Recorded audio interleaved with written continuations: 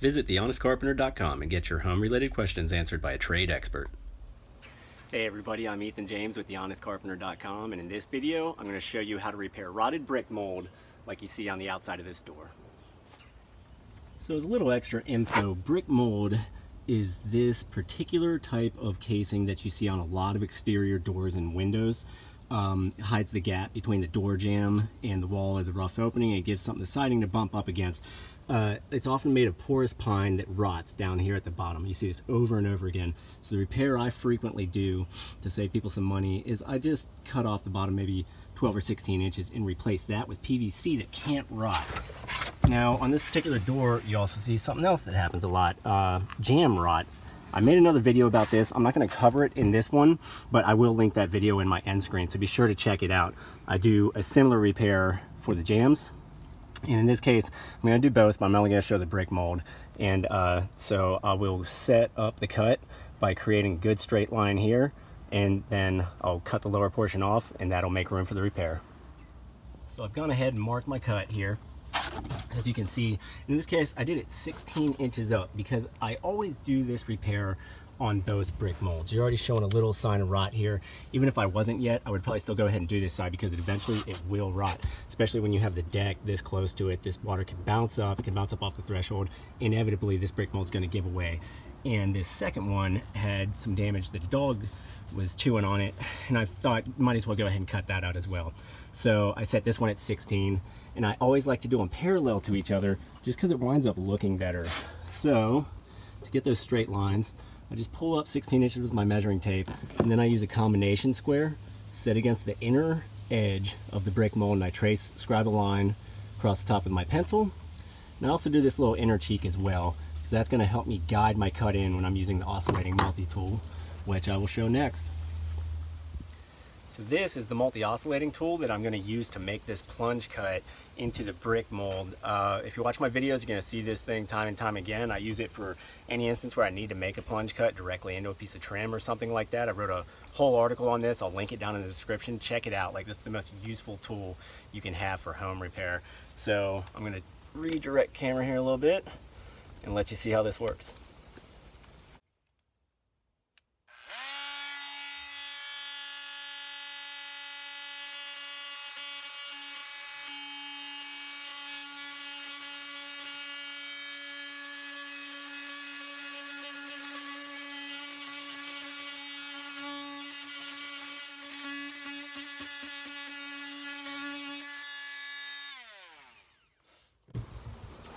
That's it. That's through the basically whole inch, inch and a quarter depth of the brick mold. And I know it went through because I kind of feel it punch through the back but pretty much all I do is I just keep the thing moving side to side in little strokes.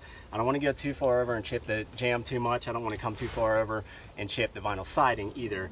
So just work it back and forth scribe a line first with the tool and then begin to work it in. Make sure you're using a sharp blade or it gets very ineffective fast. If the blade's sharp it'll just go through like butter basically uh, so yeah, I will start to pry this piece out and then we'll get a new one cut. A couple tips for removing the notch that you just made. Uh, I always start by getting a good sharp utility knife and cutting the caulk at the inner edge and the outer edge. Um, and then I begin to use my hammer to tap in my 5-in-1 with the bevel towards the door and begin prying it out. If you can really visibly see a nail, that's there's not going to be many of them this low down in the door, just one or two. Use something like a cat's paw or a five-in-one to actually pry out that individual nail, and the piece is probably just going to want to come away with a little more work. But I'll have this off in about 10 seconds. There's the piece removed. You can see a little tongue of wood that I didn't cut back there. That broke off pretty easily. It'd probably be better to clean it up with the saw before I pulled this thing out, but it didn't make a big difference. You can see this like massive three and a half inch trim nail that I pried out. And there was like one more at the bottom somewhere right there. I'll pull that out, but now we have a good surface to come in here and install a new piece of brick mold. At this point, I should mention that I was a little disconcerted with a couple of the things I found when we tore off the brick mold, particularly that the house wrap did not fully cover the exposed framing in the rough opening here as it normally would. But I also didn't find much rot in that area, and given that an extensive repair would have involved tearing off the vinyl siding and possibly parts of the deck, uh, the homeowner and I both decided that it wasn't worth doing, if it, especially if it wasn't showing visible signs of rot yet. So I was okay with uh, adding some in various sensitive places and closing it back up as is, and the homeowner could just keep an eye on it and keep an eye on the new jamb pieces down the line for further signs of rot. One other thing I'd like to point out, it's actually a little easier to show on the jamb cut I just made. Um, when I'm doing these plunge cuts with the oscillating multi-tool, notice that I didn't actually dig in square. I go in at a slight upward angle, just a little bit, a couple degrees or something. And what that does when I cut my replacement piece, that ensures that the front face will be able to get as tight as possible to the face above it. I don't care if there's a little gap at the back because I'm going to be attaching into the rough opening through this face. I just want to make sure that these two faces come together, pinched together real tightly, and you can do that more easily if you cut at this slight upward angle because it's going to leave the back end a little bit higher up than the front so the piece will be able to scoot in there real easily and it won't get held down by something poking down from the back here. So that's just something I wanted to point out.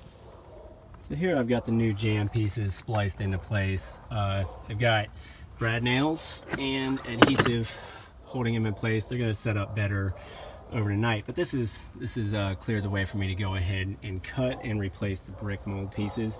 So all you do at this point is pull a measurement from the deck to the underside of the piece above, usually at the face of the piece, and um, that's your that's your cut line. If you're doing this on a window, you have to remember to put something like a 15 degree angle or miter on the bottom of your replacement piece, but that's not going to be the situation here because it's a door.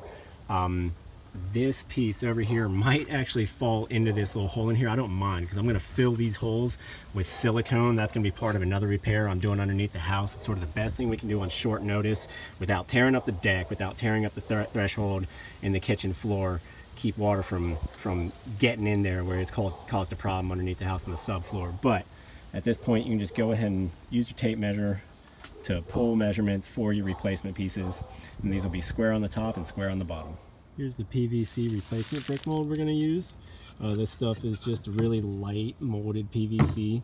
Um, my replacement piece is gonna be about 20 inches. Again, if you have to put a miter on the underside, turn it up on edge, adjust your miter to like five degrees or something 15 for windows and cut that miter first and then measure up from the long point but in this case we're cutting squares so I'm just going to measure up 20 make a mark do a square cut and just remember that brick mold has this routed detail out on the outside in this case molded detail and you need to make sure that that detail is always to the left or right of the door frame based on which side of the door you're replacing.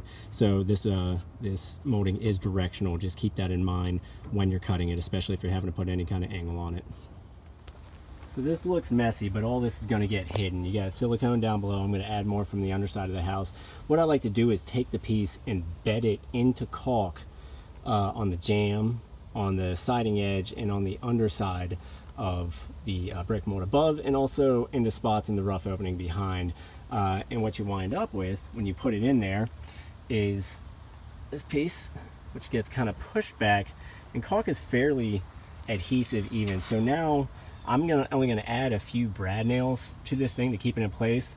And then I'm gonna caulk the seams around once it's in place to hide the attachment points and uh, the thing's gonna look really well bedded and it's gonna have some extra adhesion holding it in. So I'm just gonna do that for this same one over here, then caulk the perimeters and uh, it'll just about be done until it gets a chance to dry up. Here's the wrap up to the brick mold repair. I got my new pieces spliced in. I shot them in with two inch brad nails from my brad nailer.